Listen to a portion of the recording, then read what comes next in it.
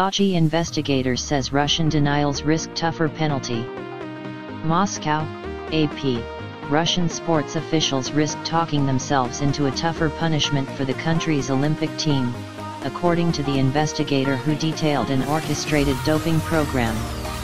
Richard McLaren's work verifying allegations of systematic cheating by Russia at the 2014 Sochi Games has been vindicated this month by an International Olympic Committee panel that so far has found 22 winter sports athletes guilty.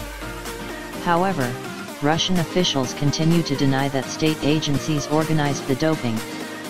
They have tried to shift blame onto other international sports bodies, including the IOC and the World Anti-Doping Agency.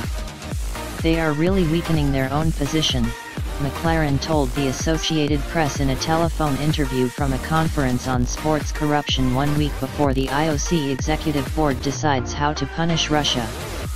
Lack of contrition, a lack of candor about what is going on definitely influences you when you are thinking about an appropriate sanction. As a long-time court of arbitration for sport judge, including when IOC President Thomas Bach chaired the appeals division, McLaren said lawyers typically know the refusal to accept responsibility. In his speech Tuesday at the Play the Game conference in the Netherlands, McLaren cited recent denials by Russian Deputy Prime Minister Vitaly Mutko and IOC member Alexander Zhukov. The more you put out these statements that don't make any sense, the more you build credibility for the other side and destroy your own position, the Canadian professor said, also pointing to Vladimir Putin's claim that Western nations were trying to pressure Russia before its presidential election in March.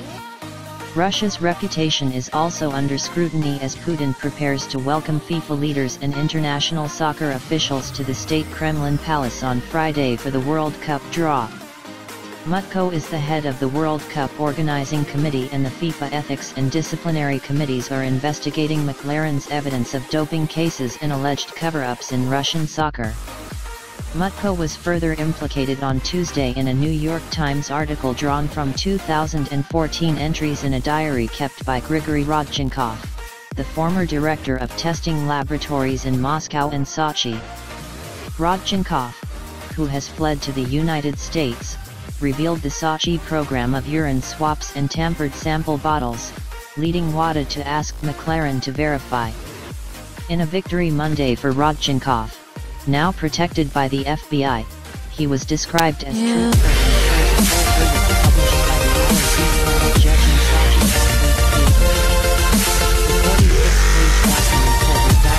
significant evidence. McLaren